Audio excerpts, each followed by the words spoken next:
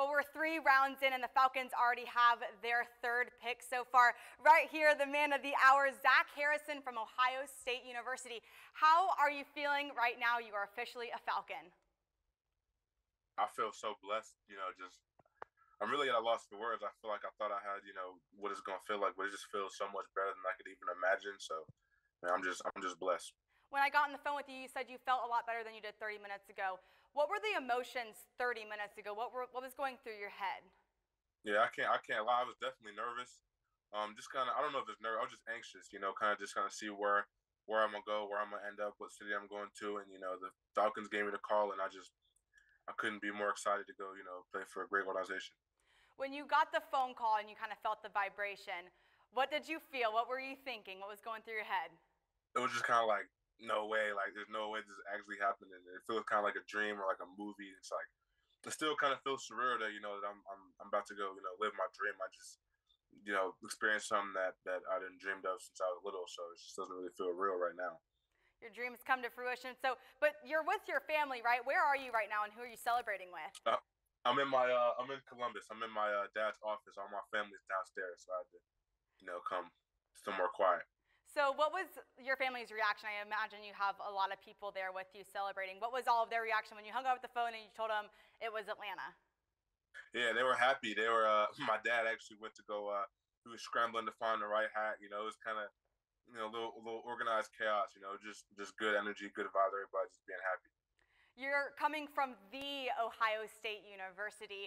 What was the experience like to play for such a prestigious Power Five school like that? Yeah, man. I feel like Ohio State is the best at everything, you know. But I might be a little biased, but I just feel like, you know, academically on the field, you know, just preparing you to, for life and, you know, your next step, you know, the NFL, just being a man, you know, Ohio State prepared me for that, and I'm, I'm forever grateful. You're going to be joining a lot of men that have been in the NFL for a while Grady Jarrett, Calais Campbell, David Onyemata. What makes you most excited about playing with these guys? What are your thoughts on that? Yeah, I'm excited just to go work, just to go, you know, put my head down and go grind, you know, put one foot in front of the other, and you know, see where I end up when I look up, and just to go learn from those vets, like a guy like Calais, you know, who's been been around the league for since I was watching football. Calais Campbell's been in NFL, so you know, to go learn from a guy like that, you know, it's just huge for you know for me and my career going forward. You mentioned the grinding mentality. What can Falcons fans expect from you as a player on the field? I mean, all I can say is they're gonna get everything I got. You know, when I when I got that call, it was like, you know, it's time to go to work. You know, it's celebration, but then once that once that's over, you know, I got got to get back to the grind. You know, they're just gonna get every, everything I got. That's really all I can say. I want to go back to Ohio State for a second because this is a fact that I learned that I don't know if many of you know at home. You graduated from the University of Ohio, or, I'm so sorry, the Ohio State University with a degree in criminology. What interested you in getting that degree? Yeah, actually, uh, I wanted to be in the FBI, so um, I kind of went the psychology route, and then uh, kind of switched halfway through. Kind of realized criminology was, you know, more more for me, and kind of just kind of stuck with that, you know.